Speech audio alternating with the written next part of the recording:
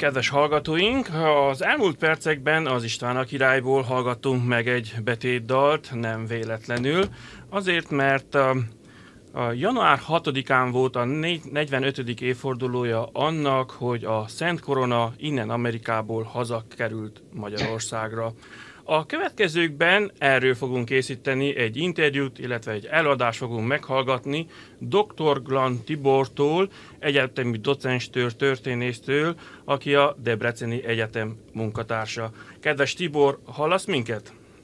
Igen, köszönöm szépen. Nagyon szépen köszönöm azt, hogy ilyen rövid felkéréssel elvállaltad azt, hogy a, a Bocskai Rádió hallgatóinak is beszélsz a Szent Koronának a hazatéréséről, illetve pontosabban az amerikai kalandjairól.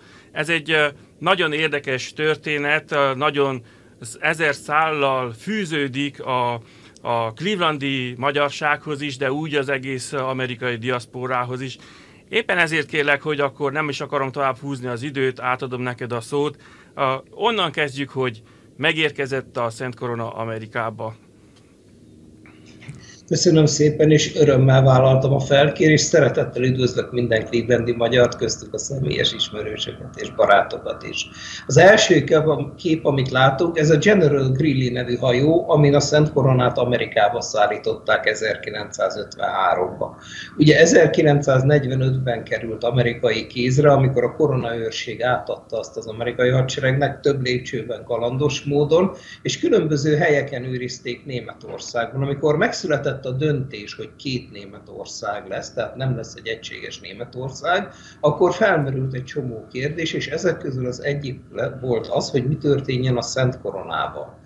A Szent Korona őrzési körülményei eléggé problematikusak voltak ebben az időszakban, és az őrzésért felelős amerikai diplomata Samuel Raber, aki a németországi főmegbízott helyettese volt, szóvá tette, hogy valamit tenni kell, különösen a palástal. Végül úgy döntöttek, hogy a, a koronázási ékszereket az Egyesült Államokba szállítják, és ez a hajó története. Tehát 53-ban szállították ugye március elején az Egyesült Államokba hajóval, onnan 800 mérföldet katonai teherautóval utazott Fort Knoxba, ahol egészen 78. január 4-ig őrizték.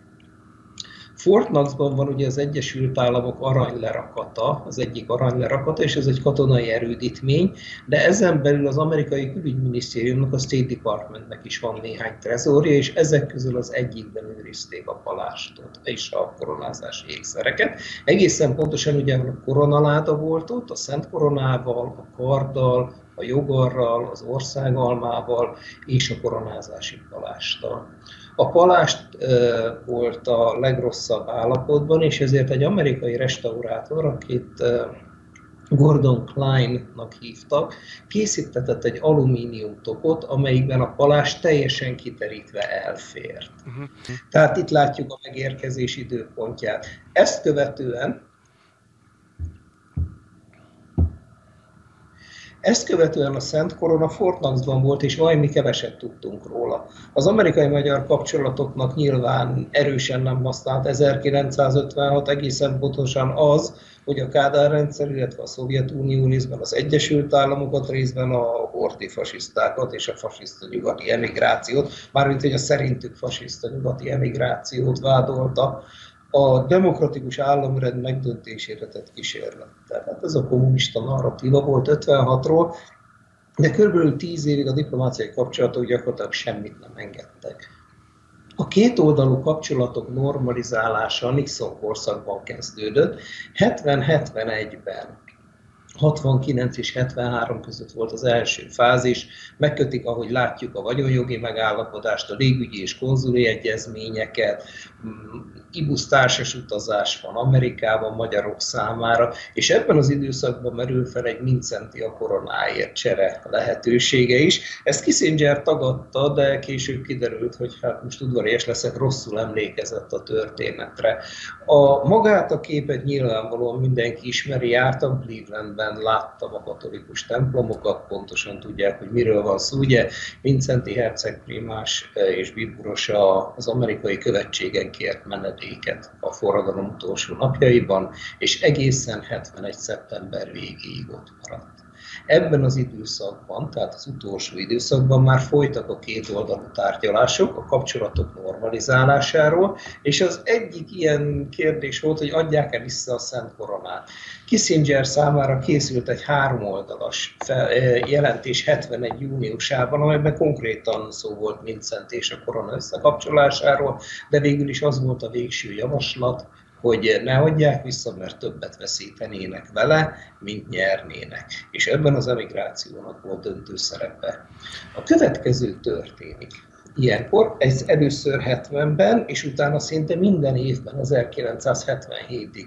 Megjelenik egy cikk az amerikai sajtóban, a Washington Post, New York Times, általában egy budapesti vagy, vagy bécsi tudósító tollából, hogy a két oldalú kapcsolatok olyan szépen alakulnak, hogy hamarosan sor kerülhet a Szent Korona visszaszolgáltatására óriási tiltakozási hullám az emigráció körében, leveleket írnak a kongresszusi képviselőknek. Láttam olyat a Ford elnöki könyvtárban, hogy kettő nap alatt gyűjtöttek össze több mint tízezer aláírást. Ott ültem és csak lapozgattam.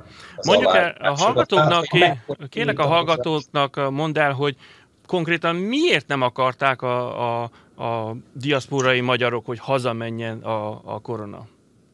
Igen, ezt az egyet hadd fejezzem már be. Tehát az történik, hogy mennek a tiltakozások, a kongresszusi képviselők és szenátorok pedig szólnak a fejére, hogy meg vagytok őrülve, hát ilyeneket beszéltek, hát nem, fog, nem fognak ránk szavazni a választásokon. A Fehérház pedig kiad, egy, kiad egy cáfolatot, egy standard szöveget, hogy a Szent Korona magyar nemzet tulajdona, sajnos Magyarország jelenlegi politikai, nem, human rights rekordja, valamint a két oldalú kapcsolatot nem teszik lehetővé azt, hogy most visszaadjuk, vagy hogy erről tárgyaljunk. Ez azért volt fontos, mert ebben az időszakban, tehát a Nixon-Ford korszakban az amerikai vezetés dokumentáltan és bizonyíthatóan azt gondolta, hogy mind az emigrációban élők többsége, mind a Kádár rendszer számára legitimációs kérdés a Szent Korona kérdése.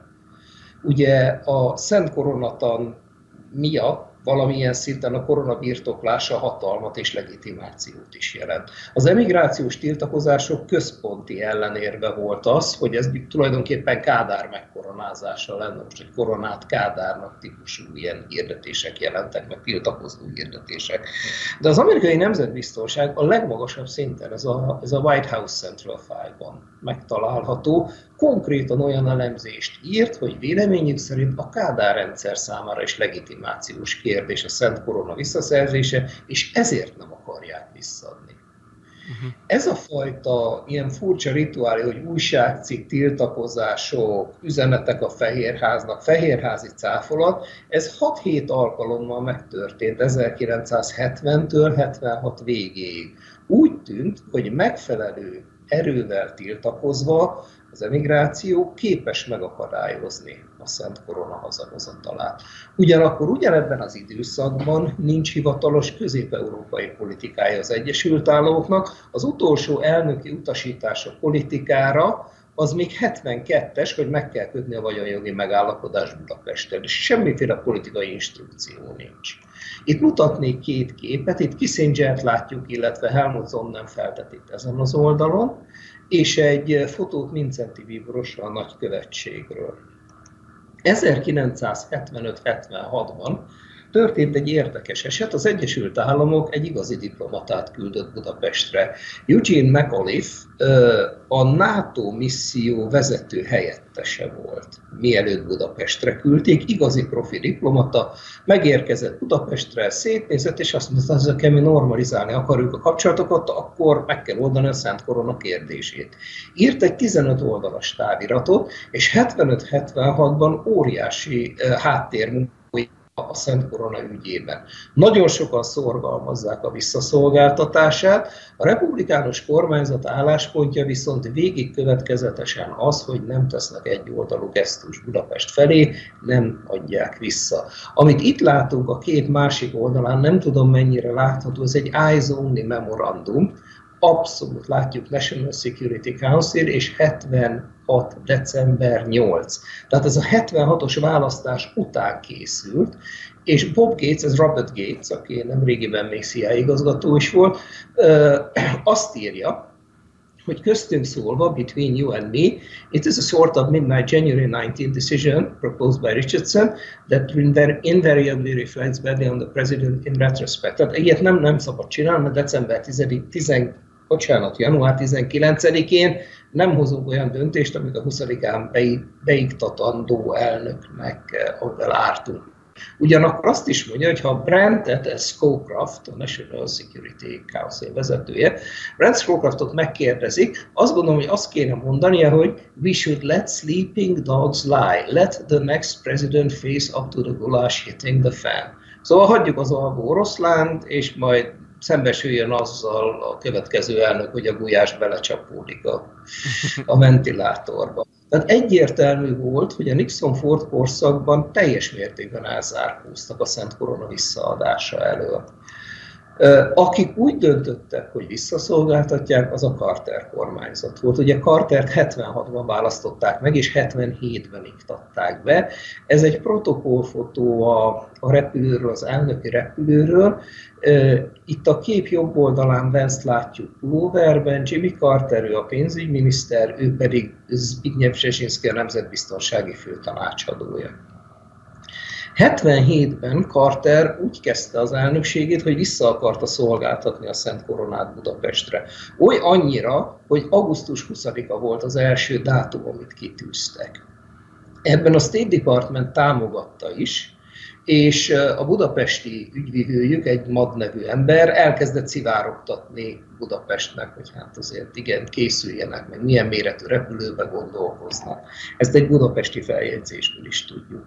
Ugyanakkor Bzezsinszki és a Nemzetbiztonsági Tanács azt mondta, hogy hát mivel nagyjából a vietnámi háború közepe óta nem volt összefüggő kelet-európai politikánk, először állapodjunk meg abban, hogy mit akarunk a térséggel, és majd csak utána. Emiatt ennek a megtárgyalására ráment az egész nyár, és Carter elnök szeptember 13-án írta alá a Presidential Directive 21 című dokumentumot, amely az új közép-kelet-európai politikáról szólt, és ebben tételesen szerepelt, hogy vissza kell, visszakapja Magyarország a Szent Koronát, és meg kell kötni a, az MFN megállapodást, tehát a legnagyobb kereskedelmi kedvezményt megadják egymásnak. Október 1-én Puja Frigyes magyar külügyminisztert hivatalosan tájékoztatják az ENSZ ülésszak megnyitóján, és megindulnak a tárgyalások Philip Kaiser amerikai nagykövet, valamint Nagy, Nagy János külügyminiszter helyettes között. Ezzel párhuzamosan ahogy a hír kiszivárog, óriási tiltakozások törnek ki az Egyesült Államok minden részén. Keleti parton három nagy tüntetés volt, Clevelandben is voltak demonstrációk, Los Angelesben az 56-os emlékműnél virrasztottak a koronáért, és ezzel párhuzamosan Bob Dole, Kansas-i szenátor pert indított, megpróbálván megakadályozni a legfelsőbb bíróságnál a Szent Korona visszaszolgáltatását. A tiltakozások megértéséhez ugye arra van szükség, hogy először is 70-76 között lezajlott az a politikai rituálé, amiről már többször beszéltem, tehát újságcikk, tiltakozások, fehérházi cáfolat. 77-ben azonban, mikor megszületett a döntés hivatalosan, és már Kuját is tájékoztatták, akkor az elnök elkezdte tájékoztatni a kongresszusi képviselőket és szenátorokat is. Közülük az egyik, az Ohioi demokrata képviselő asszony Mary Rose O'Gár november 3-án elmondta a sajtónak, hogy vissza fogják adni a Szent Koronát, így ez a november 4-i sajtóban jelent ez a lehető legrosszabb hír volt a Carter kormányzat számára, hiszen november 4-e az a nap, amikor Szálasi letette az esküt a Szent Koronára, illetve szintén az a nap, amikor Kádár szovjet tankokkal tért vissza Budapestre, és megindult a második szovjet támadás a forradalom ellen, amikor leverték az 56-os forradalmat. Természetesen megindulnak a a szokásos tiltakozások, ekkor azonban már az emigráció nem képes visszafordítani a, a helyzetet, vagy nem tudja megállítani a visszaszolgáltatást, mert elnöki akarat van. Tehát az elnök már eldöntötte, hogy ez így lesz, ezt már nem lehetett tiltakozásokkal megakadályozni. Erről a hatalmas tiltakozási kampányról, a tüntetésekről, a kongresszusi meghallgatásról írta éppen Clevelandi barátunk Simon Csics Attila azt a hatalmas 1200 oldalas dokumentum kötetét, a The Last Battle for St. Stephen's Crown című könyvet. November 9-én a kongresszus képviselőházában meghallgatás van, és a kormányzat, tehát a visszatérő, visszaszolgáltatást támogató tanúk között szerepel Király Béla és Nagy Ferenc is. Ugye Béla bácsi az 56-os forradalomban a szabadságharcosok főparancsnoka volt, Nagy Ferenc pedig az utolsó demokratikusan megválasztott magyar miniszterelnök.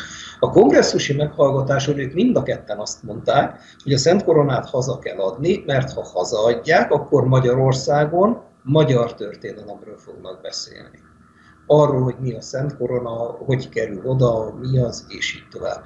Ugyanezen a napon van egy elnöki fogadás is, ahol az elnök fogadja a tiltakozó képviselőket, illetve a tiltakozásban résztvevő amerikai-magyar szervezetek vezetőit is. Ugyanakkor a State Department szembesül egy nagyon furcsa PR problémával is. Eddig hat éven keresztül évente néha többször is azt mondták, hogy Magyarországnak az emberi jogi rekordja, valamint az Amerikához, az Egyesült Államokhoz fűződő viszonya nem olyan, hogy szóba jöhetne a Szent Korona visszaadása, most pedig hirtelen bejelentik, hogy visszaadják. Ezért a State Department előállított egy dokumentumot, egy ilyen hatoldalas dokumentumot, ami nagy részt arról szól, hogy Magyarország mennyire liberális, hogy nem üldöznek senkit, vallá, amennyire lehet vallásszabadság van, és így tovább. Ez egy kicsit, ez egy ilyen erősen politikai jellegű dokumentum, természetesen a fele sem igaz, tehát igenis volt üldözés, ültek még 56-os forradalvárok börtönben, abban az évben üldöztek el filozófusokat Magyarországról, többek között Heller Ágnest és így tovább. Ennek a szalonképesítételi kampánynak magyar részről az volt a dimenziója, hogy kiengedték Lékai Bíborost, aki Vincenti utóda lett annak halálát követően az Egyesült Államokba. Billy Graham, az ikonikus eh, baptista prédikátor, ugye Magyarországra jött és prédikált nálunk, többek között Debrecenben is, ahonnan én jöttem, illetve Arthur Schneyer, New Yorki főrabit, az East Side Synagognak a főrabbiát is beengedték Magyarországra.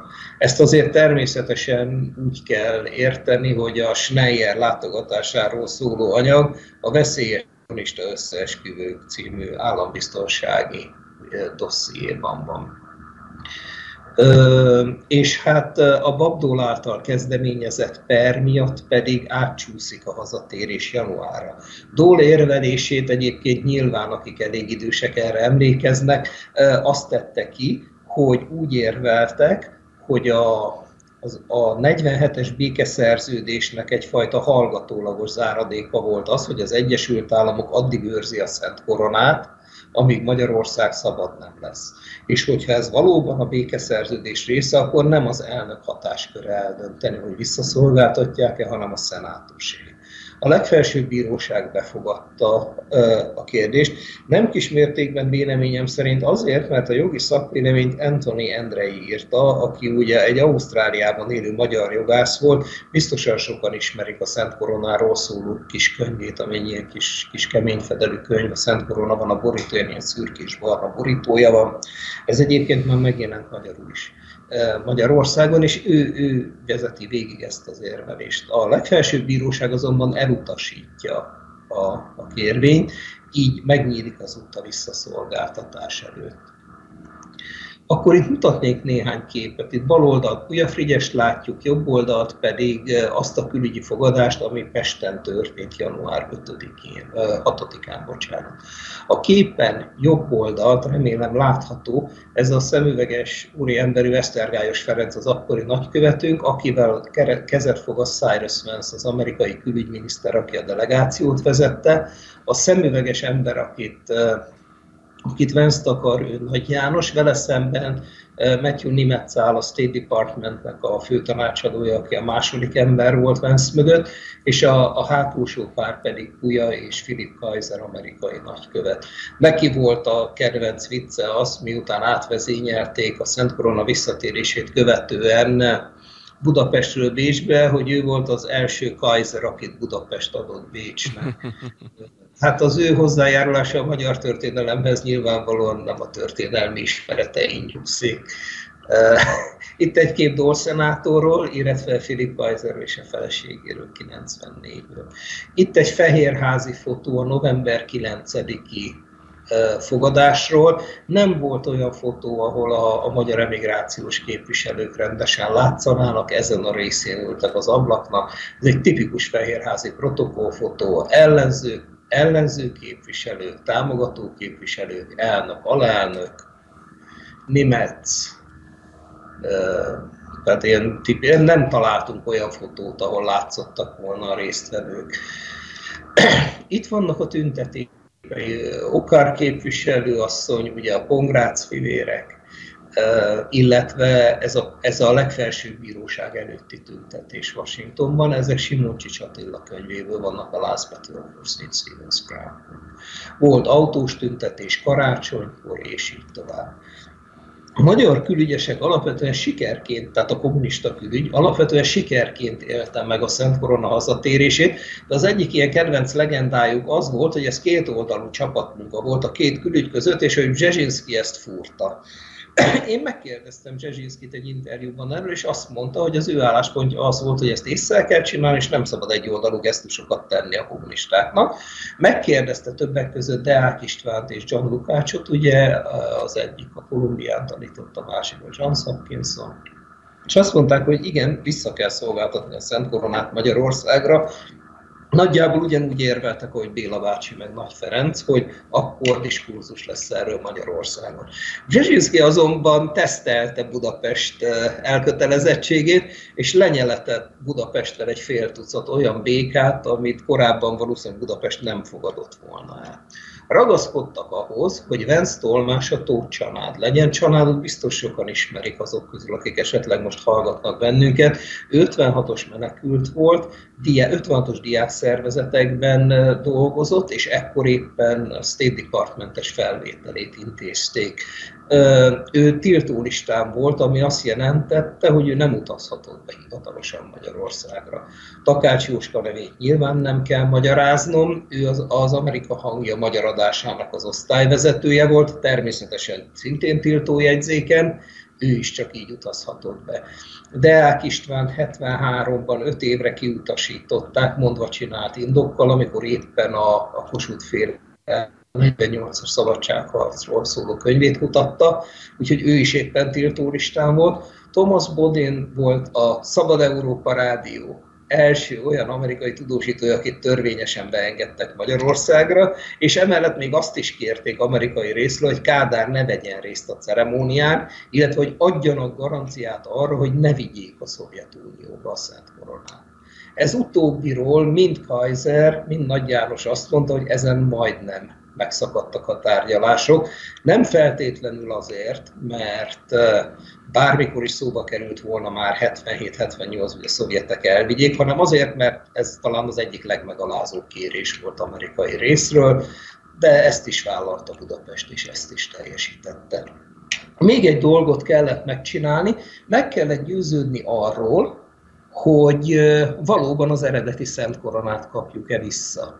Ezért két magyar művészettörténész, a baloldali képen látható Svetnik Joachim és Kovács Éva, ő egy ötvös mester volt, ő a hölgy pedig a palás szakértője, kiutaztak az Egyesült Államokba, és Fort Knoxban, hát ott, ahol őrizték, ott volt egy szakmai átvétel. Tehát amerikai muzeológusok, akiket ezen az oldalon látunk, ő a követségi titkár volt, amerikai muzeológusok készítettek egy leírást róla, és Kovács Iván Svetnik elmentek Fort Knoxba, és átvették hivatalosan, lecsomagolták, és úgy, úgy vitték át Budapestre. A másik színes fotó pedig már Budapesten készült, a, itt uh, Fülep Ferenccel, aki akkor a Nemzeti Múzeum igazgatója volt, a megállapodás ugye az volt, hogy a Nemzeti Múzeumba kerül kiállításra, és ez pedig, az, ez pedig a budapesti átvétel, ugyanaz alapján, a jegyzék és leírás alapján, ami Fortnaxban készült. És itt egy pillanatra szeretnék PowerPointot váltani, ha, ha kapok egy pici okay. türelmet, és még kb. három percet beszélnék magáról a, a visszaszolgáltatásról, tehát magáról a ceremóniáról, illetve a közvetlen utóéletéről. Oké. Okay. Ezen a térképen a Szent Korona útját látjuk, Budapesttől Bremerhavenig 53-mal bezárólag, a kicsi inserten pedig az amerikai útját, feketével a Fort Knoxi útját, onnan pedig, hogy hogy utazott tovább Fort Knox-tól Little Rockba amerikai helikopterrel, onnan egy teherszállító repülővel, és onnan a kettes számú elnöki géppel utazott Budapestre.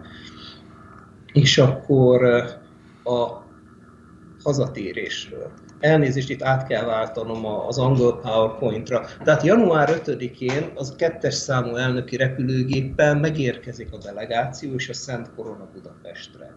Január 6-án Vence külügyminiszter megérkezik Párizsból, és négy órakor van az átadási ceremónia. Ezt a Magyar Királyi Televízió, némi mondva, élőben közvetítette csak 6 órától. Ezt 40 évvel később tudtuk meg. Ennek közvetlen oka Vance beszéde volt. Vance beszédében van egy áttekintés az amerikai-magyar kapcsolatok történetéről, oda is viszem a képet, és ebben a beszédben megemlítette Harry Hill Bentholz tábornokot, aki ugye személyesen védte meg a fosztogató román katonáktól a Szépművészeti Múzeumot 1919-ben.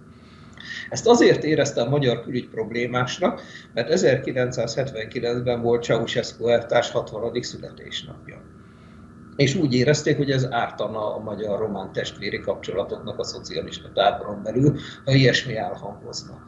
Nagyon keményen tiltakoztak, de amikor Vence 5-én Telexen átküldte a beszéde utolsó hivatalos változatát, abban még mindig szerepelt a Bentholzra vonatkozó mondat. Ezért láttuk két óra csúszással, állítólag élőben ceremóniát, akármilyen furcsán is hangzik. Ez két ikonikus kép a hazatérés, ezt is nyilván mindenki ismeri. A jobb oldali képet, ezt a fekete-fehér képet tettem végül a 18-ban megjelent könyvem borítójára, mert ez mutatja meg a helyzet totális abszurditását. Tehát az amerikai nép nevében Cyrus Vance külügyminiszter átadja a Szent Koronát és a koronázási ékszereket a magyar népnek, akiket apró Antal képvisel. A magyar parlamentben kezet fog Cyrus Vance, aki Amerikában többek között polgárjogi ügyvéd volt, és az egyik 56-os hóhér. Ugyanis ugye apró Antal az 56-os megtorlások egyik levezénylője volt. Ezt azért is szoktam fölrakni így, és elmondom a diákjaimnak is, hogy én ebben a világban éltem és nőttem föl, és nagyon szeretném, ha ők nem ilyen világban élnének, ahol egy ilyen fotó normális. Két ilyen ember nem kéne, hogy ugyanazon a képen legyen. Legyünk uh-huh. őszinték, de ebben a helyzetben mégis előállt ez a, ez a furcsa helyzet. Ezen az oldalon van egyébként az amerikai delegáció, itt pedig a magyar. Uh-huh. Az idő nagyon el, elszaladt. Igen, uh, igen. És akkor egyetlen egy képet hadd mutassak még meg. Okay. Ugye 2000-ben ezt először kiállították a Szent Koronát, ugye január 31-ével a Nemzeti Múzeumban, 2000-ben pedig átvitték a parlamentbe. A palást állapota miatt a múzeumban maradt, a Szent Korona pedig a parlamentben van, és végre a, az alaptörvénybe, az új alaptörvénybe beleírtuk, hogy a Szent Korona és a Szent Koronatan része a magyar alkotmányos hagyománynak. Úgyhogy ennyit akartam mondani, köszönöm. Nagyon szépen köszönjük az előadást, és ha még rövidre is fogtuk, de nagyon érdekes volt az évforduló kapcsán, hogy pontosan 45 éve került haza a, a korona.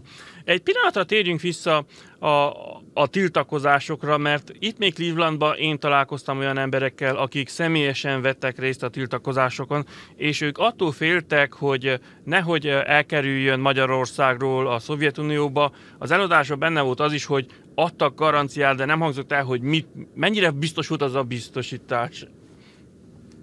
Hát most erre nehéz mit mondani. Tehát azt gondolom, hogy az már nem az az időszak volt, amikor a Szovjetunió mondjuk műkincseket rabolt volna direktben Magyarországról. Tehát az, hogy a Szent Korona, hogyha a szovjetek kezébe kerül 45-ben, 46-ban, 47-ben, hogy a Szovjetunió végzi, az biztos. És ugyanúgy nem látjuk vissza, hogy a Sáros patakról elrabolt könyveket és egy csomó más minden.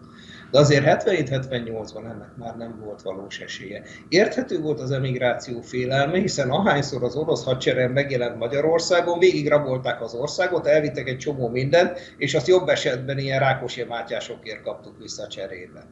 Ugye, amikor a kommunistákat kiadták a tanácsköztársaság után, akkor kaptuk vissza 48-49-es honvéd zászlókat, de maximum így lehetett tőlük bármit is visszaszerezni. Uh-huh. Tehát a félelem maga az emigráció részéről teljesen megalapozott volt. És még egyszer az emigráció szemszögéből nézve, az, hogy Kádárt legitimálják azzal, hogy a Szent Koronát visszaadják neki, vagy odaadják neki, ez nyilvánvalóan árulásnak tűnt, és úgy is kezelte az emigráció döntő többsége. Tehát a tiltakozások, komolyan mondom, tehát Los Angeles-től Trenton, New Jersey-ig mindenütt, szinte folyamatosan ebben az időszakban. Azért érdekes a dolog, mert korábban meg tudták akadályozni tiltakozásokkal, ezért mutattam be azt a fajta furcsa politikai rituálét, amiről beszéltünk, hogy nyilván a magyar külügy nyakig sáros volt ezekben a történetekben, nyilván ők szivárogtattak, hogy hogy alakulnak a tárgyalások, hogy mi lehet ebből, és mindig volt egy olyan amerikai újságíró, aki ezt le is írta. Uh-huh. Hol Syndicated Journalist, hol mondom Washington Post, New York Times sorozatban vannak ilyen cikkeink, és mindig jött a tiltakozás, és a tiltakozás mindig megállította. És ugyanezt történt. Ezért nevezte Csics Attila, aki, aki talán az egyik legfontosabb krónikása a Szent Korona történt, és maga is Clevelandi volt. Ezt az utolsó csatának Szent István koronájáért. Amikor ezt a csatát elvesztették, akkor az emigrációban csalódottság óriási volt ami részben megnyugtatta a kedélyeket, az Habsburg Otto cikke volt, amit az év végén írt, vagy a következő év elején, bocsánat, tehát 78 tavaszán, ami megjelent a torontói magyar élettől kezdve a Borbándi Gyula bácsiékféle új látóhatárban mindenütt, hogy bevégeztetett. Ezt is biztos sokan ismerik ezt az írást, ahol elmondja, hogy készhelyzet előtt állunk, visszadták a Szent Koronát, nem tudunk mit csinálni, hozzuk ki belőle a legjobbat, reméljük, hogy igaza lesz azoknak, akik azt mondták, hogy beindítja a magyar történelmi diskurzusokat. Be is indította, hiszen Berti nyilván megírta a Szent Korona történetéről szóló könyvet, Györfi István az István király és művét, és részben ezért van István a király is, mhm. legyünk őszinték. Tehát alapvetően, alapvetően a Szent Korona visszaszolgáltatása elérte azt a célt, amit a Carter kormányzat maga elé tűzött.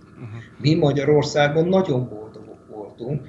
Engem a gimis töri, töri tanárom fölvitt osztálykirándulással csak azért, hogy megnézzük a Szent Koronát. Neki Szent Korona volt, a Komcsiknak Korona volt kisbetűvel, következetesen.